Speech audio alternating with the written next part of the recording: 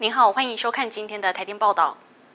台电公司今年度的千万节电千万感谢节电奖励活动，特别举办了多媒体制作竞赛，分为学生组及社会组，公开征求民众以节约用电为主题制作动画或拍摄短片投稿。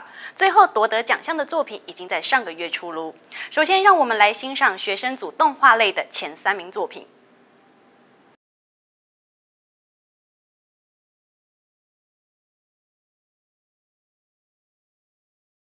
Bye.